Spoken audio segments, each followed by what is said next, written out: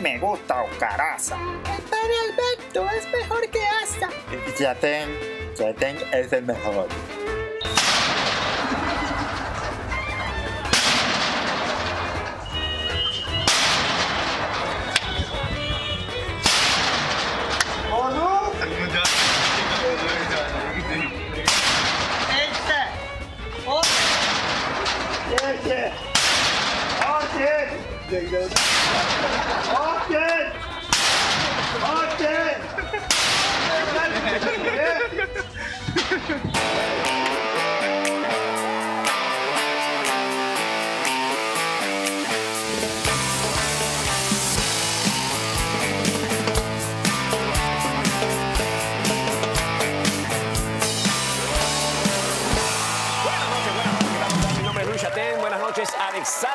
Buenas noches, Chate. ¿Cómo estás, Alexandra? Te siento como contenta esta noche. Estoy ¿Ah? feliz. Sí. Bueno, hoy tenemos un invitado especial, muy especial. A lo largo del programa nos acompaña en la percusión Diego Camacho, el esposo de Alexandra. Bienvenido, Diego. Gracias, Luis, gracias, un placer. Bienvenido a tu casa. Gracias por estar acá. Bueno, señores, comenzamos con una información generada aquí en la Florida.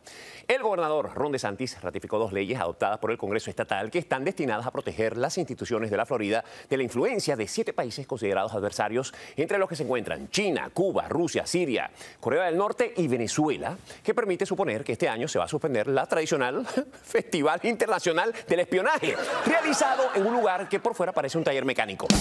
DeSantis dijo, no se equivoquen, China es una potencia extranjera hostil y cada gobernador tiene la responsabilidad de proteger su sistema educativo y todas las demás entidades dentro de su ámbito del espionaje y el robo comercial llevado a cabo por el Partido Comunista Chino. Muy bien, permítame aportar mi granito de arena.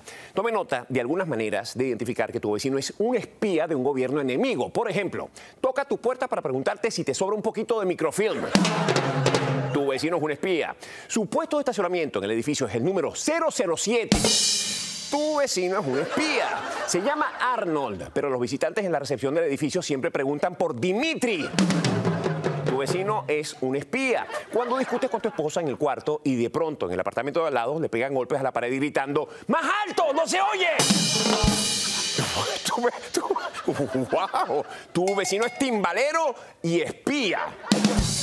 Es cuestión de estar atentos. Miren, seguimos.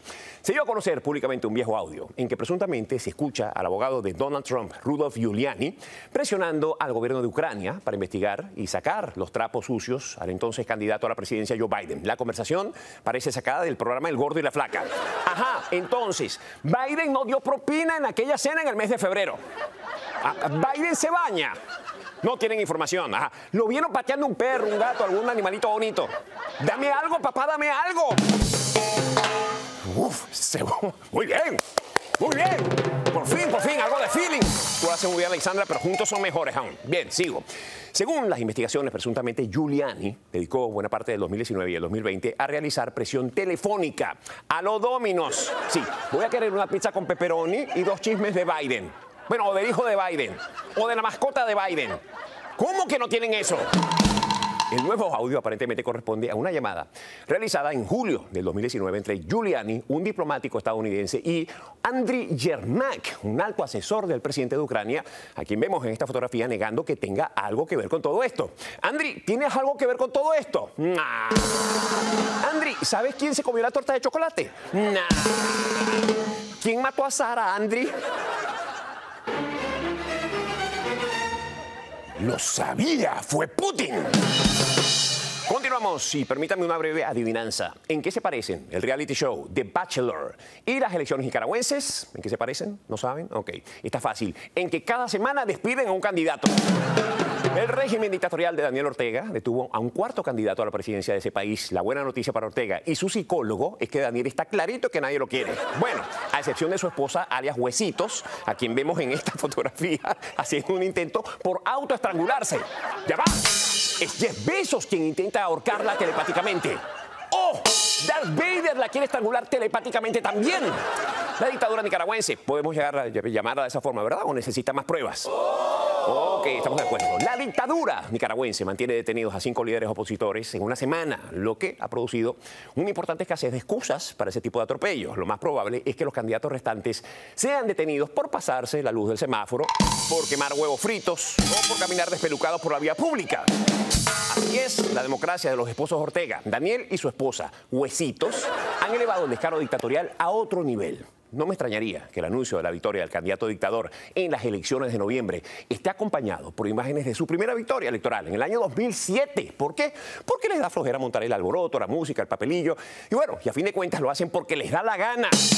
Aquí ven a Ortega feliz y contento con su triunfo el próximo mes de noviembre de este año junto a Fidel, quien hará un esfuerzo sobrehumano por acompañarle desde el más allá.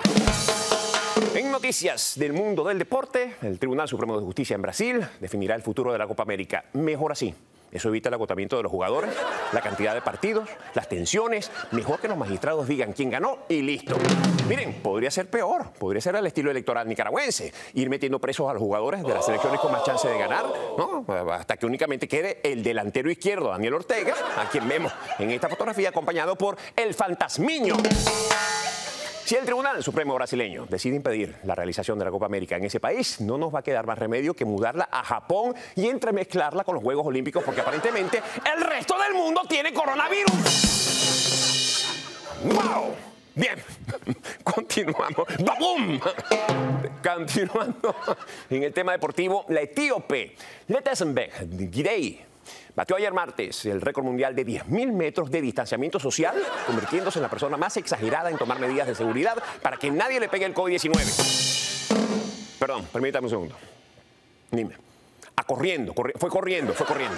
Lo de los 10.000 metros lo hizo corriendo y en apenas 29 minutos. Oiga, 29 minutos solamente, esta muchacha podría hacer una fortuna repartiendo paquetes de Amazon Prime o el colágeno de Pablito.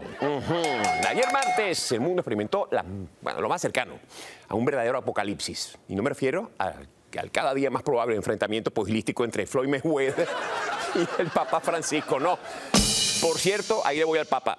Me refiero a la caída masiva del servicio de Internet. Dios nos proteja de semejante cosa, señores. En serio, difícilmente puedo con la noticia de que este sujeto mató a Sara.